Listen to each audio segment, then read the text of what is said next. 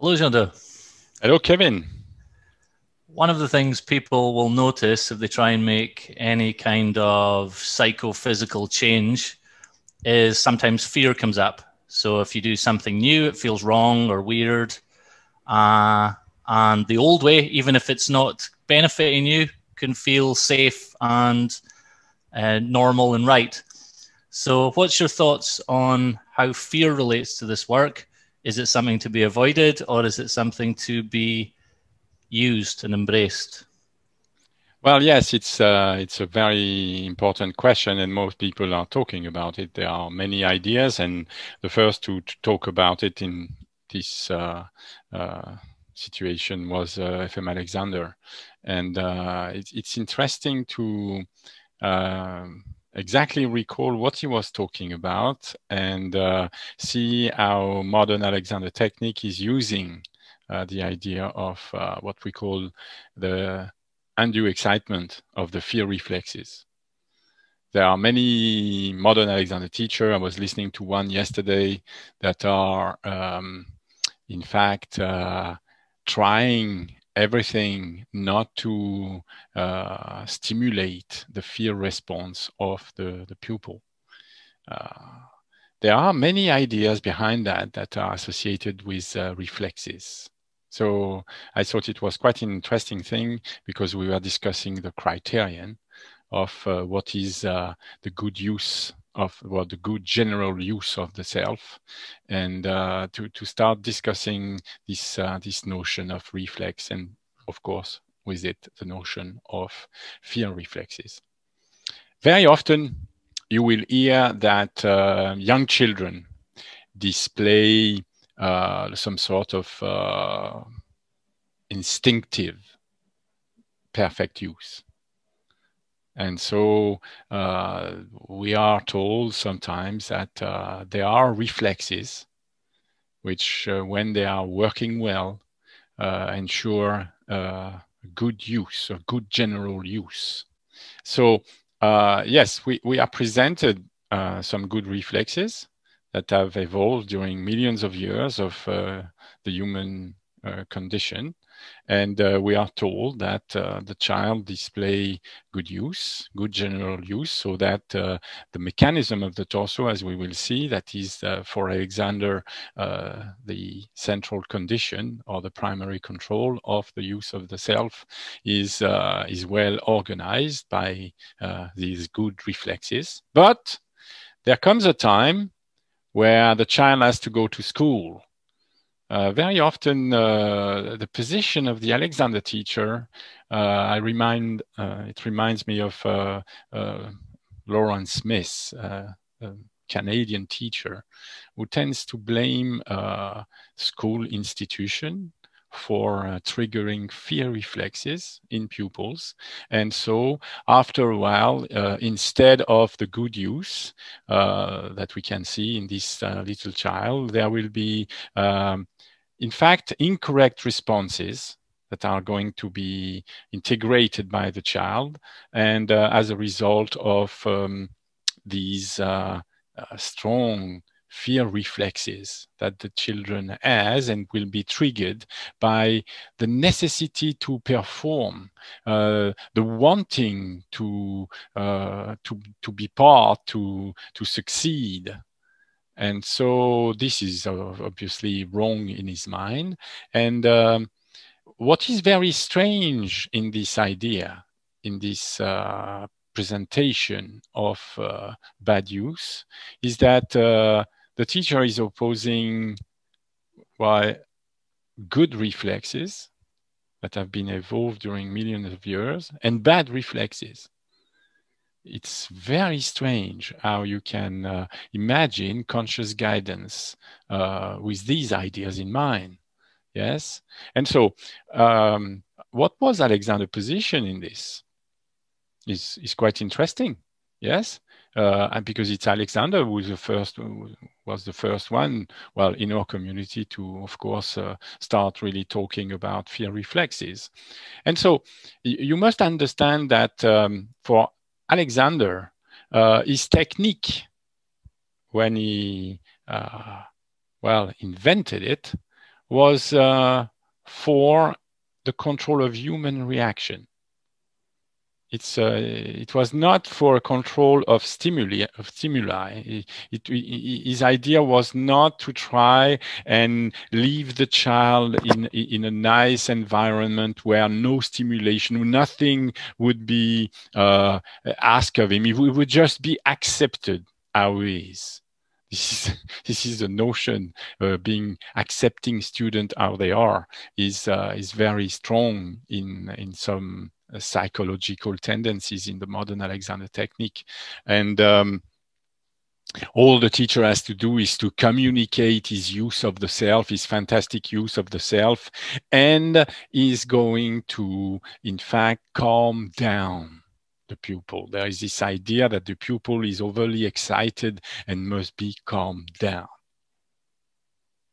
I wonder how it's possible that somebody has not seen that this was total end-gaining, that the pupil is excited, he must be calmed. This is just end-gaining there, was, there is no mean you're not offering any means whereby to somebody if you try to protect him from or her from from stimulation. It's it's absolutely strange how ideas can turn around when people don't reason out things when they don't and also when then when they do not read uh, properly so uh, alexander in in this uh, is very clear uh, his idea has never been to protect the pupil. Uh, if you remember, he's been criticized very much because um, when he ran a first training course in, in Australia, in Australia, he had a few, a, a group of students, and uh, he trained these, this group of students who were not uh, actors and they were complete beginners. He trained them to perform a play, a Shakespeare play. Um, and um, it's it's quite interesting because um, for the first, the premiere, uh, they were thrown onto stage without a prompter. So uh, the demand on their memory and also their capacity to react to being on stage, to being under, you know, the, the habitual pressure of being uh, uh, what we call stage fright, of being, in fact, scrutinized by uh, an audience. Well, they, they dealt with it, but they didn't deal with it by lying down on the floor, by trying to calm themselves. They dealt with it with the principle of the Alexander technique and uh, that is uh, totally forgotten nowadays that uh, we, we are teaching people how to control human reaction and we are using a principle in order to achieve this goal this uh, so uh, the other day uh, I, I had a lesson a zoom lesson with a very far country and um, the pupil I ask the pupil every time if they have a comment on their last lesson or if they have a question, and she say, "No, I haven't got a comment. I have a, I have a, I haven't got a question, but a comment." In fact, um, I, every time we have a lesson, before we have the lesson, I, am very, very stimulated. I say, "Well, that's nice," but she said, "No, it's not really. I have a big." Uh, feeling of apprehension. And so this is interesting. I said, uh, "Can you explain?" She said, "Yes. You're you're asking uh, me to reason. You're asking me questions. I have to answer, and then when I answer, I have to, in fact, uh, perform in order to show my understanding." And so this is uh, really triggering a uh, great response in me. And so uh, I acknowledge this fact. The, the lessons that I give are, are made in this way so that uh, the pupil will be stimulated.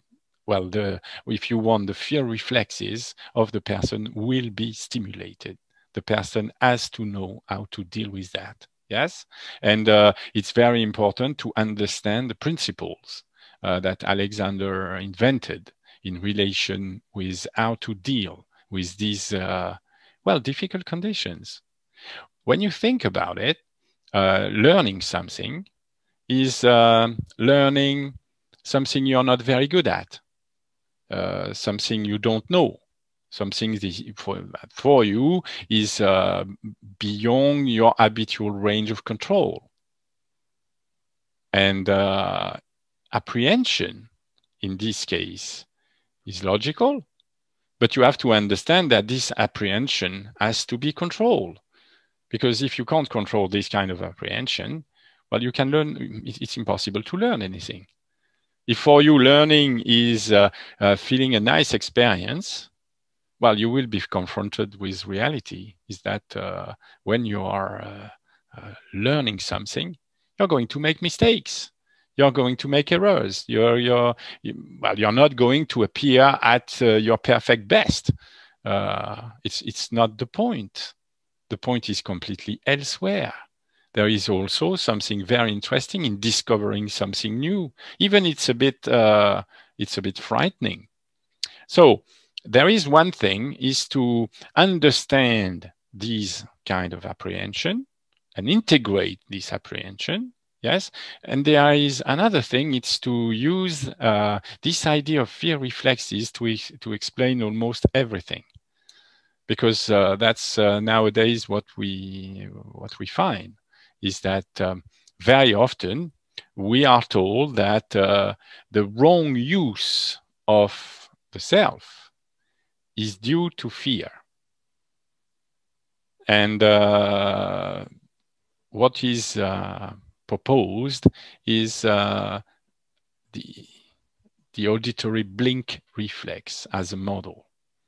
So this is what we call uh, the startle pattern in the, the Alexander technique jargon.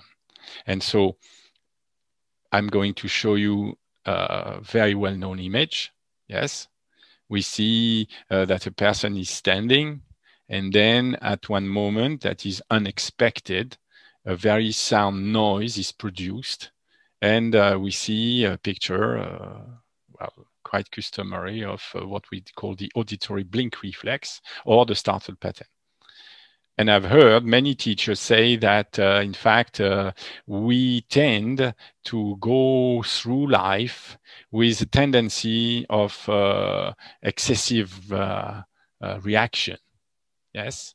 And so this explains the neck tension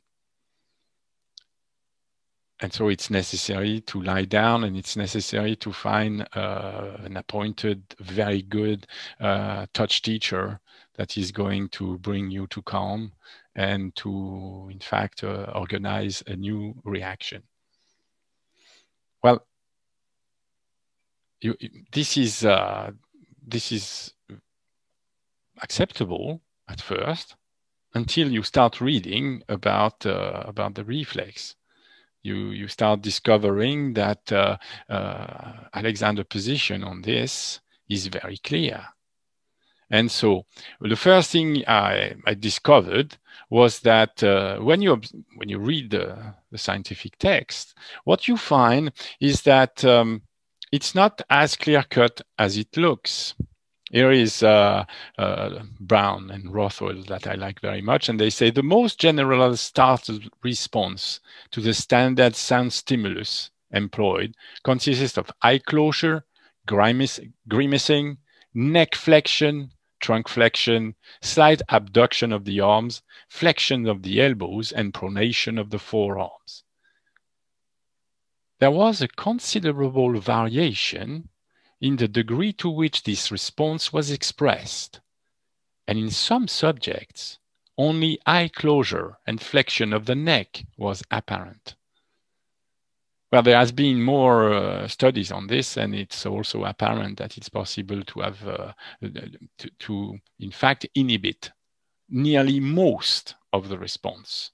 But what is interesting is that the inhibition is not um, a decision to inhibit, it uh, rests on uh, different characteristics that have to be prevented before uh, the person is subjected to the experiment. What it means is that uh, if uh, you change the general use of the self, well, you find that uh, the response to the same stimulus is going to be very diminuted, very different, yes, much less. So uh, suddenly, this uh, starts to match what FM Alexander was talking about. Because um, uh, I have an example here, and this is not in the first book, this is in the last one. This is not the young Alexander. This is the Alexander that has, uh, uh, you know, we are told very often that at the end of his life, uh, of his teaching life, Alexander um, let go of ordering, let go, uh, dis completely dismissed uh, his uh, his ideas, and it was just a direct touch with the contact, direct contact with the pupil that would do the trick. No, he's, descri he's describing a case here. He says spe special to this case was the undue excitement of the fear reflexes in response to any stimuli to move or speak. The lessons I gave were based on the principle that the pupil manner of general use was responsible for the trouble.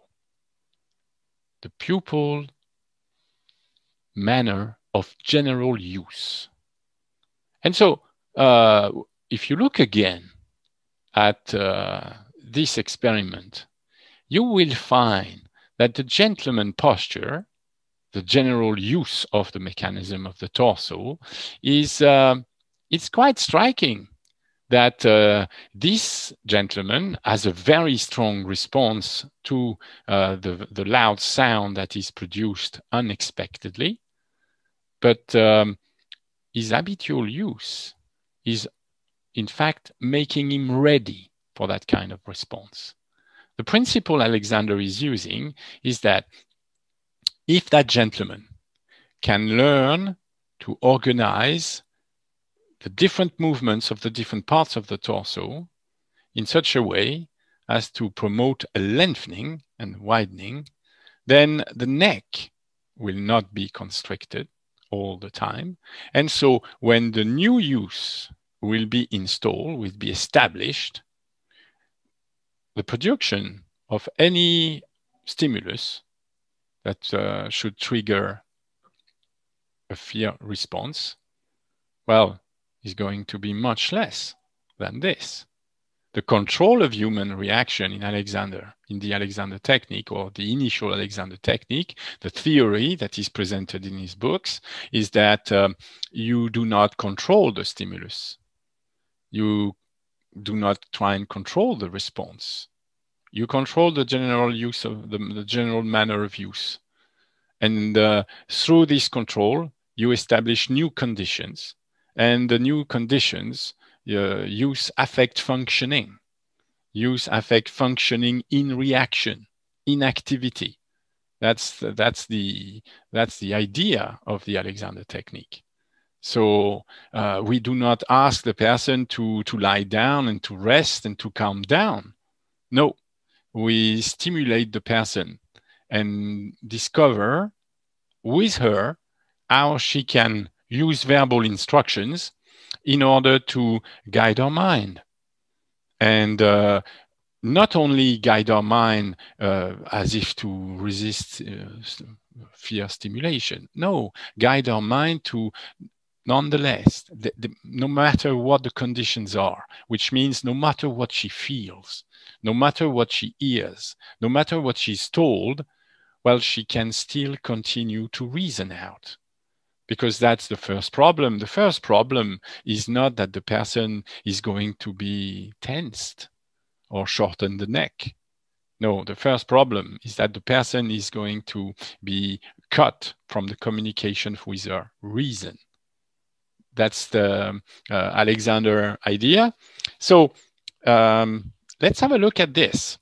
Alexander says that uh, the average person may exhibit complete nerve control and balance. Well, which, which is uh, somehow the opposite of uh, the reaction that we see with, uh, when there is an undue excitement for of the fear reflex. Well, I should say when there are conditions of undue excitement of the fear reflex. So there are conditions where the average person may exhibit complete nerve control and balance. That is during accustomed experiences, an accomplishment of the different mental or physical demands made during the ordinary round of life.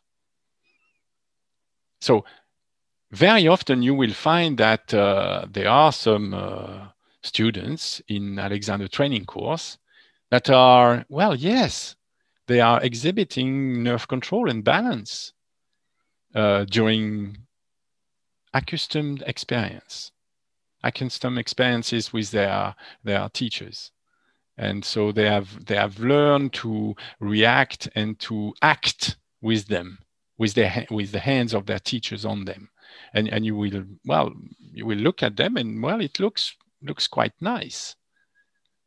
Yet the same person when uh, having a simple lesson, a Zoom lesson with me far away, is uh, in fact in the grip of a very strong apprehension reaction to simply being asked to perform uh, reasoned acts that she has re- that she, well uh, from answers that she has provided herself. I ask her a few questions and she she answered truthfully, and I say, well, if this is the case, could you show me? Could you could you please uh, sit, for example, on your chair, following the uh, uh, this means whereby you have yourself reasoned out. When you have uh, answered this question, you have reasoned out a few means whereby what should do the what what should be the rib cage movement when I'm going to sit. So you have answered should be this. Should rotate forward and up at the top just show me. When we discover that, wow, in your activity, it seems quite difficult to translate the theory into practice. This is just the basis of, of giving lessons. Uh, you reason out what should be the uh, means whereby to produce the gesture which is going to expand the mechanism of the torso, the primary control of the functioning, and uh, primary control, if you want, of human reaction. And then when you when you discover that um, it's not possible to translate into activity, then we should start to uh, see what are the movements that are appearing that are impeding that uh, means whereby decision of yours and uh, how to, in fact, coordinate all these movements in order to, well, improve the reaction and improve the general manner of use. So it's one thing to to look fantastic when you have learned a dance with somebody so the person has, uh, you know how to react to the different uh, helps that the teacher is going to do with his hands so that the, the result seems to please the teacher. But it's a different thing to command on your own uh, movements that are going to coordinate and produce a general use that is satisfactory. So there is first this capacity to have complete nerve control when you're lying down on the table. But then there is uh, going on stage. Then there is performing in front of an audience. And uh, for example, you have uh, an exam. There is nothing wrong with test and exam. It's just to, to see what you are capable of doing on your own it's it's one thing to do something with the help of someone, and then it's something else to be asked to perform something on your own. This is uh, for for actors, for example. Um, this is uh, commonplace.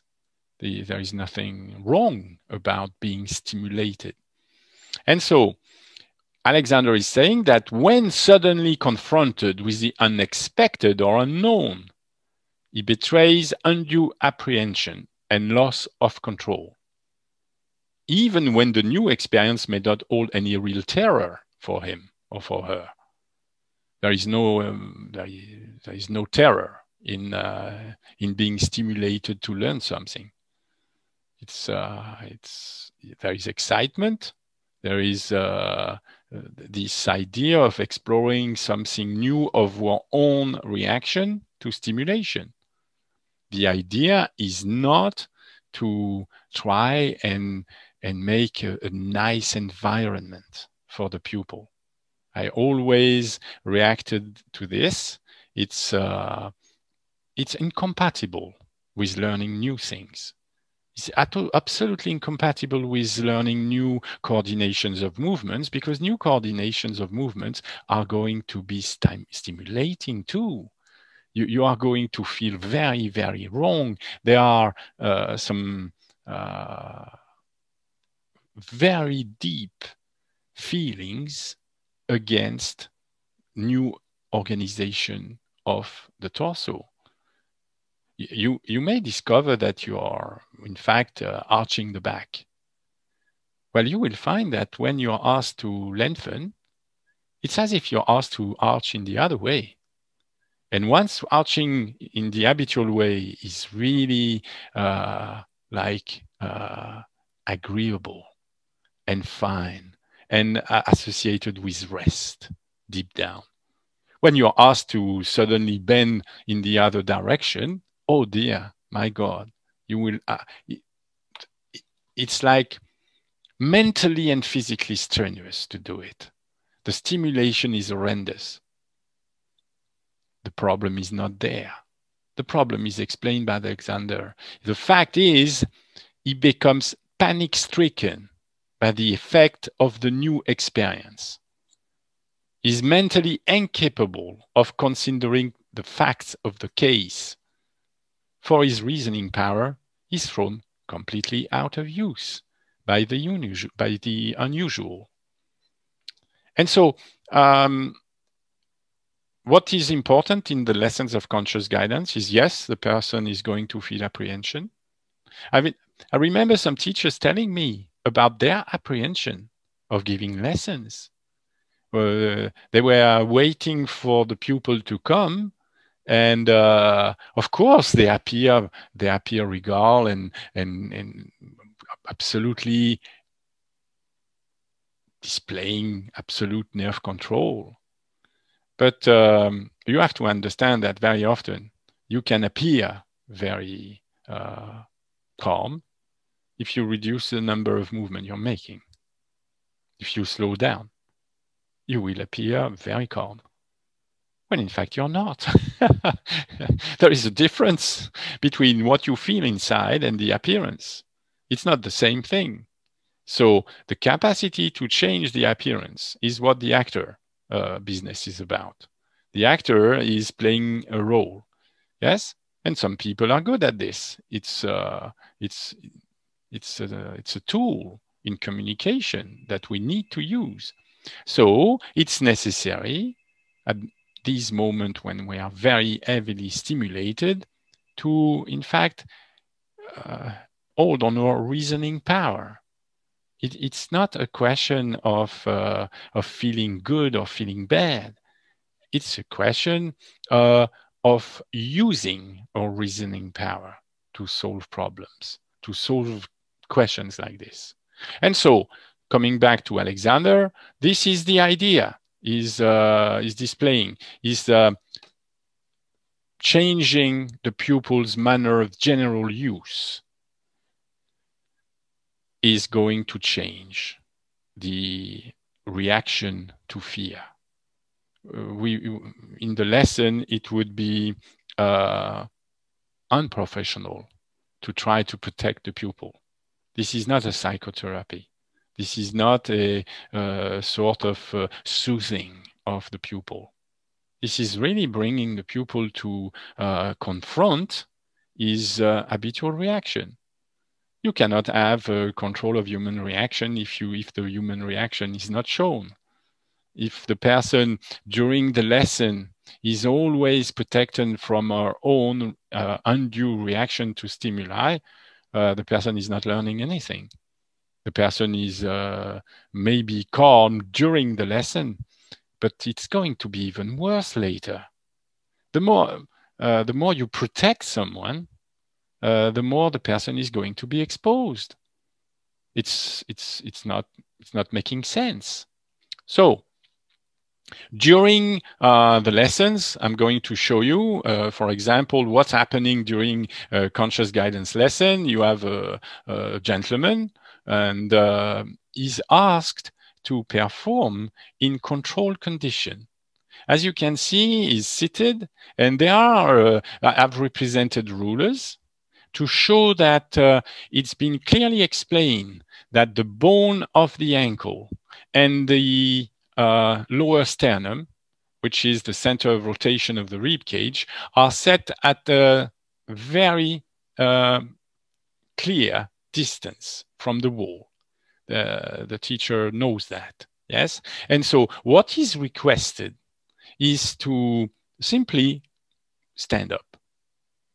Yes, but it has been shown that every time the person was responding to that stimulation, the person wanted to, in fact, throw the middle torso forward and unduly lift the chest, which was, uh, in fact, uh, showing on video that the person was arching the back. It's very, very clear that on this video, the person is not arching the back. Yes, the person is using verbal instruction to direct the different movements of the mechanism of the torso with the mechanism of the legs and arms, as it is shown here, in such a way that the person well, will stand maintaining the center of the rib cage on at the same distance from the wall than the ankle. Yes? Well, it's more or less uh, uh, done well, it's uh, for the people who know how to read these uh, these images. You will see that well, it's it's it's not a brilliant uh, effort. Uh, there are uh, things that are not working very well. It's uh, it's clear that the person is bending the arm a bit more in the third image, and so that the lower part of the rib cage is thrown forward off the ankle changing, of course, the equilibrium of the structure and uh, forcing the person to respond muscularly. And they, it's shown in the last image, for example, that the person is leaning forward.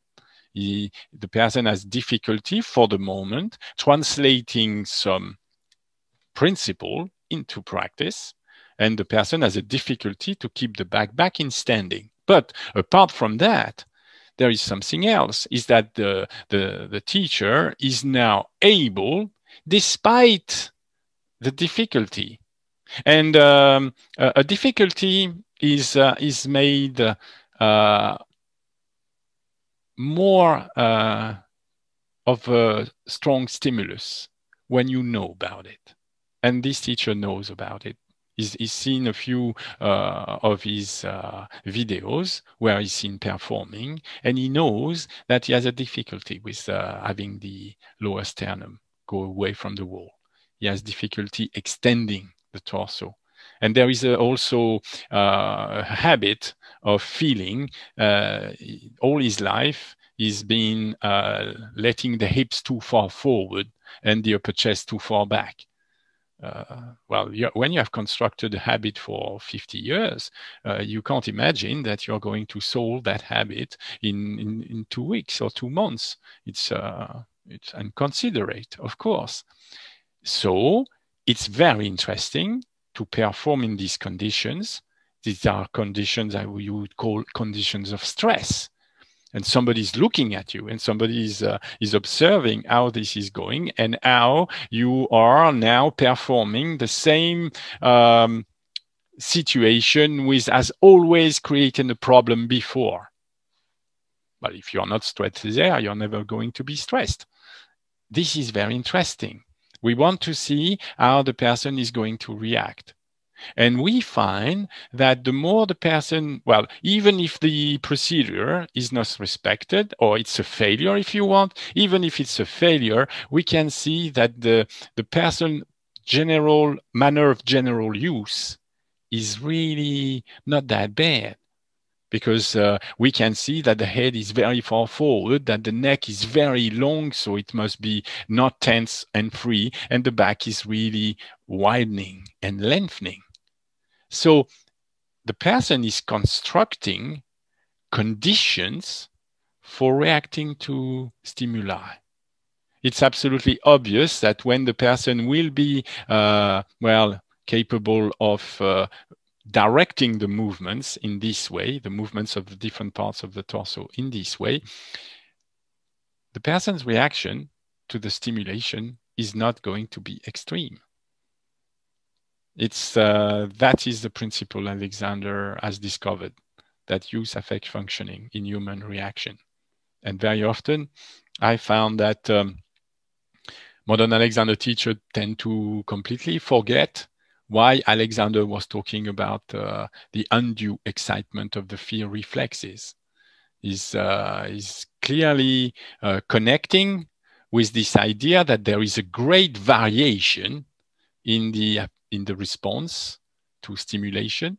There are some people they are completely thrown out of communication with their reason when they are stimulated. Well, there are others uh, when they are stimulated, they are uh, well very interested. They, they start really to reason out the conditions and reason out the, uh, the why and the wherefore, what could be the means whereby to change this situation. This is the purpose of the lessons of conscious guidance and control. The purpose of the lessons of guidance and control are not to, in fact, uh, uh, communicate uh, the use of the self of the teacher directly the the idea is not to impress the other with uh, with one uh, balance with one equilibrium to transmit one's balance or one equilibrium to one to some other person.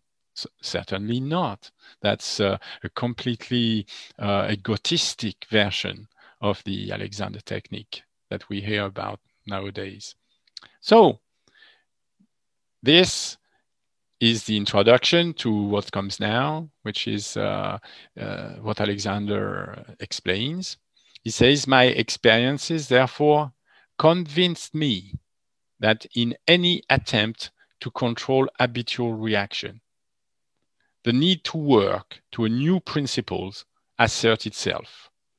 The principle, namely, of inhibiting our habitual desire to go straight to our end, trusting to feeling for guidance, and then of employing only those means whereby, which indirectly bring about the desired change in our habitual reaction, which is the end.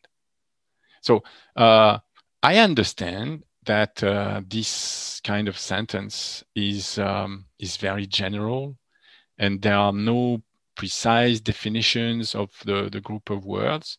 It's, uh, it's necessary to, Alexander is asking of us, when I say it's necessary, it's he's asking of us to fill the blanks and, and, and have our own idea. So there is a whole book before that sentence uh, or a whole book after that sentence to explain what he means.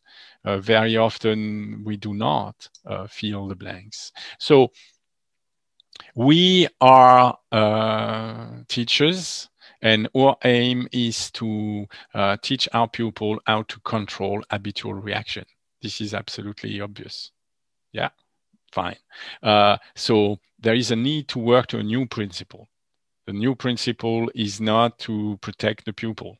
The new principle is not to accept the pupil as he is. Uh, the pupil uh, is there and uh, we are not to encourage the mind of acceptance. There is this idea that uh, uh, there is the mind of acceptance and there is the mind of trying and the mind of trying is bad.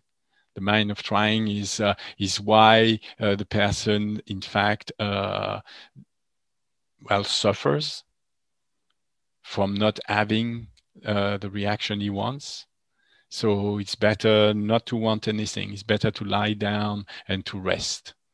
Well, this is absolutely contrary to the principle that Alexander, in fact, uh, has uh, constructed. because the principle he has constructed is about uh, organizing the mind with uh, instructions. And uh, at first, when you start playing with it, well, you will find that, uh, wow, uh, this is easily said and done. At first, there are many uh, impediments, many, well, to say it clearly, there are many possibility of failure. Uh, at first, there is uh, mostly failure, by the way. The person is going to to discover that uh, she has a very great difficulty to disassociate movements. She, she can uh, think of different movements, but when it's time to go in practice and uh, employ only those means whereby that were decided, so we decided that in order to lengthen and widen the back, it was necessary to rotate the rib cage and to rotate the pelvis in a certain definite manner described by the new orders of movements. Well, uh, the person may understand what we are talking about, may have an idea, or may see when it's not done. But uh, when it's time to, uh, well, uh, enter into action and react, to the stimulus of uh, any activity, like going to stand, well, the person finds out that uh, it feels absolutely strange not to go and follow the habitual course of uh, trusting for feeling to feeling for guidance. It's a situ situation that has to be encountered time and time again before the pupil can really use his reasoning or her reasoning to deal with the question to deal with uh, uh, well how to transform theory into practice it's uh, it's something to to use words and and um, and present, in fact, uh, what is called very often uh, an undefinable uh, use of the self. The use of the, the use of the self, something you cannot describe. Well, we can. We can describe the geometry of the movement we observe. We see uh, whether the pupil is lengthening the back or not. We see whether the pupil is has the head forward enough of the line of the back. It's uh, it's something that is uh, easy to discover. So just after this, uh, this sentence, there is another one. I'm going to, to, to look at three sentences. The second one is this one. The task of reasoning out and selecting the effective means of bringing out psychophysical change according to this new principle is not an easy one. But the real task begins when we start to put into practice the procedures with, which we have decided upon. For this, as Dewey puts it, presupposes a revolution in thought and action. The task of reasoning out and selecting the effective means of lengthening the back, of widening the back. Uh, we have discussed this many times in the initial Alexander technique that I teach, this means that we need to reason out and select uh, instructions of movements. We want the different bony parts of the mechanism of the torso to move in a certain way when we are going to stand, for example. These movements are not visible. It's only their effects if you rotate the rib cage in a certain way, and if you rotate the pelvis at the same time, you will find that uh, there is a tendency to lengthen the back. It's a fact. Now, uh, to obtain this organization of movement, this coordination, this manner of use of the general self um, is quite easy in, in some conditions. Well, it's not important. What is important is the capacity to maintain these conditions when we are stimulated. Uh, being able to do it uh, uh, when there is no stimulation, in fact, present very little interest. So it's possible to stimulate oneself. It's possible to get uh, this fear of uh, wanting to perform. So when you're sitting, when you're doing anything, when you're uh, walking in the street, it's just uh, having some attention on how you project different instructions. So you just need instructions. So when in when we are in the lessons, we always discuss we always reason out, we always deliberate upon uh, the effective means of bringing out a psychophysical change. We, we discover that uh, uh, some instructions may work well with certain people and other instructions of movement will, will not. And so it's interesting to discuss, observe, so that the person that is having the lesson is becoming the teacher of himself or the teacher of herself. Uh, I, I, I teach people to become teachers. Uh, whether they want to be teachers or not is not the point. The, the idea, or uh, they don't have to uh, want to become professional teachers and make money out of it. Uh, it, it suffices, they have to, in fact, become the teacher of themselves. They will discover that their uh, reaction to stimulation are uh, very ingrained and it's not possible to get rid of uh, this reaction uh, by having a lesson a week or a lesson a month with a professional. They have to take charge.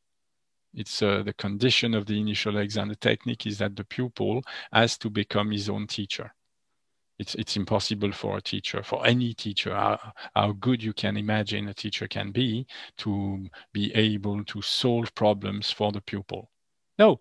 Uh, and it goes against the idea of conscious guidance and control. Uh, the conscious guidance of control is of the individual. So the individual becomes a teacher. So the, the, the it's absolutely clear that in the way I see teaching, it's necessary for the pupil to engage into the task of reasoning out uh, and selecting the effective means of uh, uh, coordination. It, it, it's not sufficient that somebody else, maybe Alexander, maybe others, maybe the me, the own teacher, the, the, the real teacher, uh, have an idea of uh, uh, how to reason out and how to select the effective means of uh, coordination. No, it's necessary for the pupil to engage into this work uh, on his own. And it's, it's not uh, that difficult.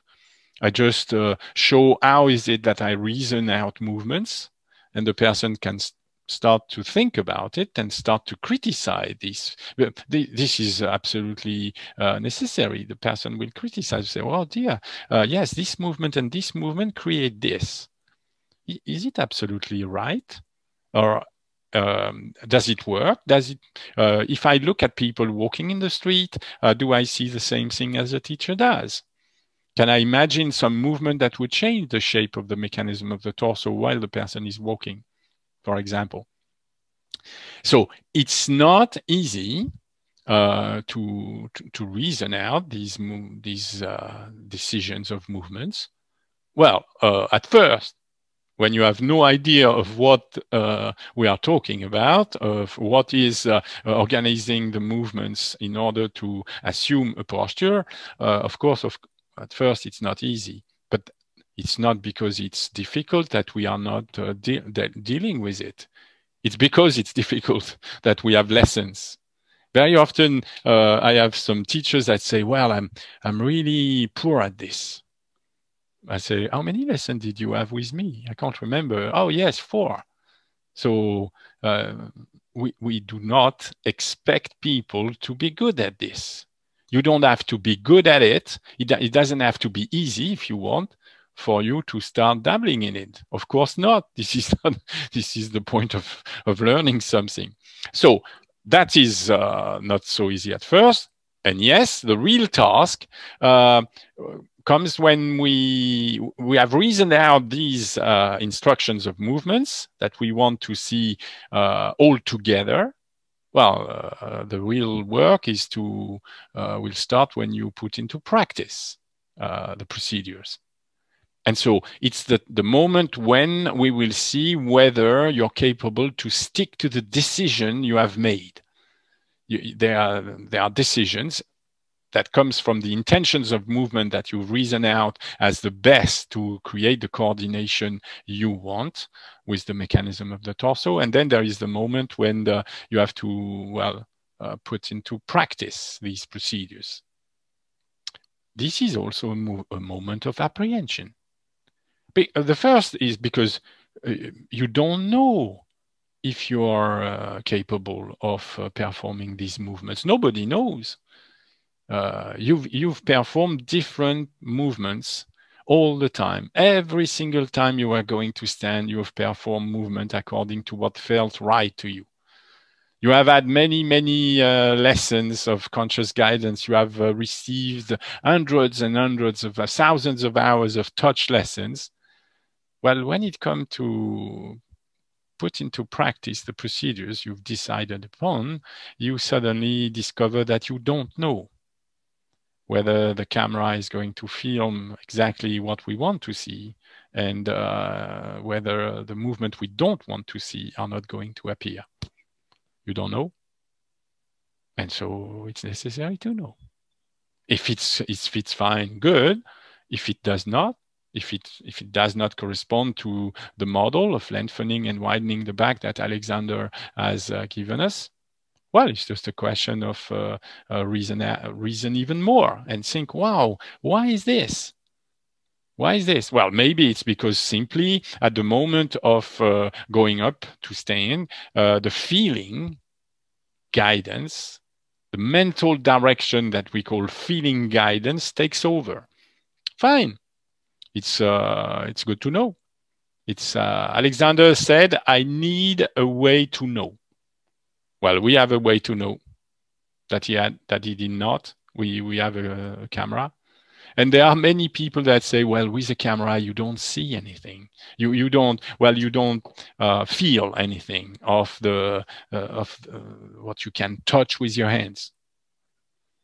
Well, you can see quite a lot, really and uh, most efficiently in order to see whether uh, you have uh, transformed your theory, that is uh, the series of instruction you think should produce the result you want to see, or not. That's all we need. And so the revolution in thought and action is um, more a revolution of thought and action it's the, the idea of um, making sure that the speech we are using, the instructions, are really transformed into action. It's uh, because very often you hear speech and uh, fine, this is the theory.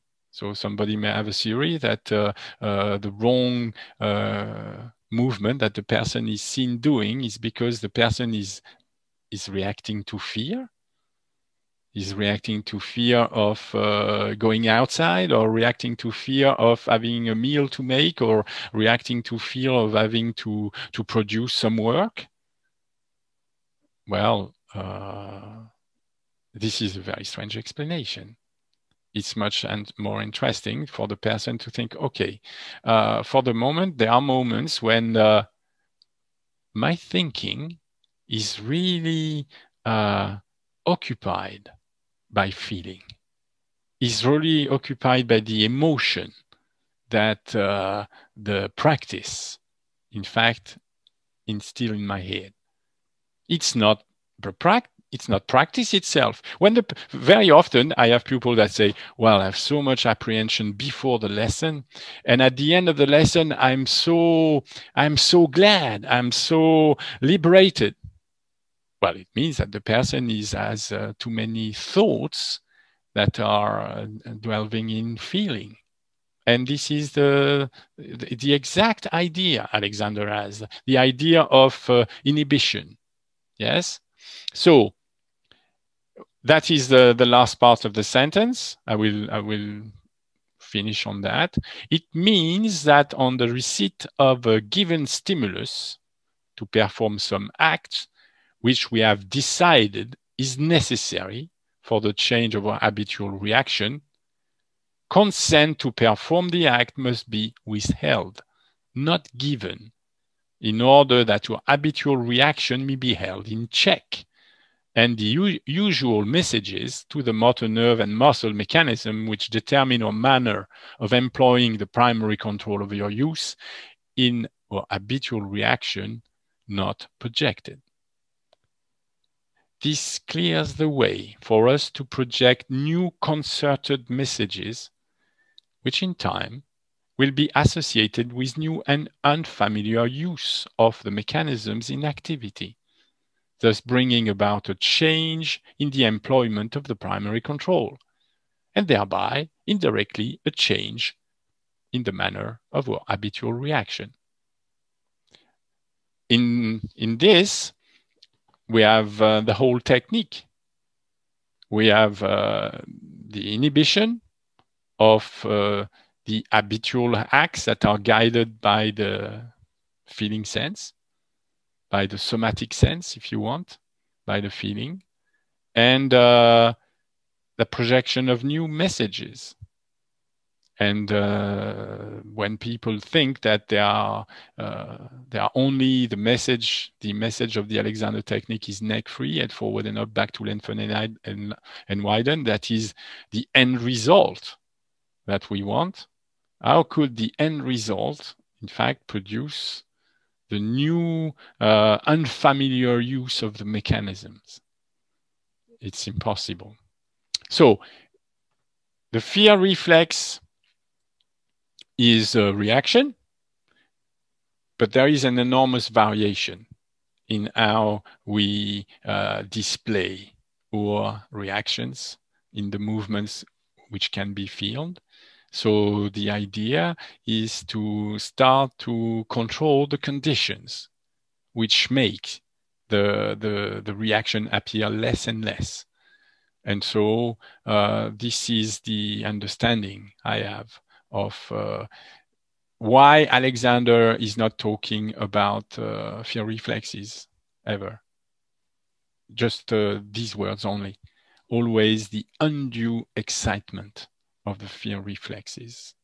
And so our idea is not to protect the pupil, our idea is to strengthen the pupil reaction in the sense that the pupil will not have to try and be calm, try and, and stay uh, centered or uh, uh, there are many other end-gaining direction like this one. It's, it's not the point when the person is reacting, the person is reacting. What we are interested in is having the person be able to formulate, reason out a series of orders. And also, we want to see if the person in, in practice is capable of organizing these different movements so that they appear on screen as a, a lengthening and widening of the torso that is going to promote a head that is very far forward of the torso. And so, um, in this, I, I wanted to to show uh, how he, Alexander uh, sees the fact that uh, uh, the neck reaction in fear is not a consequence of the fear reflex. It's uh, it's a condition of the fear reflex. It's completely uh, think, looking at things in the other way.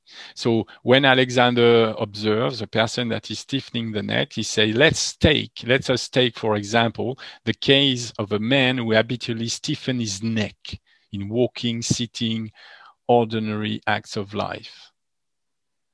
This is a sign that is endeavoring to do with the muscles of the neck the work which should be done, which should be performed by certain other muscles, notably those of the back. And so uh, in this example, we see uh, it's, there is nothing to do with fear. There is something to habit of use of the different uh, parts of the back, of the different movements of the parts of the back. I hope this is clear. Any Excellent. question? Yes, Shonda. Well, a comment really. Um, you talked about how Alexander was a Shakespearean actor and how he had the first uh, training course in Australia. He had them uh, do, uh, perform a play in order to learn how to do conscious guidance in adverse conditions. And it seems that that the fact that he was an actor seems critical to the fact that he developed the technique. So people will tend to think, oh, he lost his voice, so that's why the technique exists because he tried to get his voice to be to continue acting. But it seems almost it seems just as important or more the fact that they to be an actor you have to do movements against how you feel. You need to display uh, emotions physically, the, the, visibly, that you may not actually feel. And it seems that this kind of training, as well as the memorization of of um, words of uh, of the long long passages, uh, is central to the whole technique, and that's shown by uh, the development of the technique, and that will be shown by the fact that he actually had them do that on the training course. That seems that seems uh, the ideal way to teach people how to use conscious guidance. And one yeah. last thing, the the director in the place, in a way, is playing the. He's watching the performer and then telling them whether they're doing it correctly or not. So in a way, he's playing the role of of our video. So we can use the video to teach ourselves, but he's the one giving the control of the performance. So actually, within the technique, as you're explaining it here, the initial Alexander technique, there is the element. Uh, there is it's um, you can see the element of the performance of plays in the way it's organized. Yes, and let's not forget uh, stage fright, because uh, when when we're discussing the fear reflexes, when the person is said out of communication with with a reason, well, you have to understand the the effects of stage fright on people. They they they forget lines that they know perfectly well they would have been absolutely capable of telling the same lines um, at a cafe to their friends. Well, now they're on stage and uh, their mind is blank.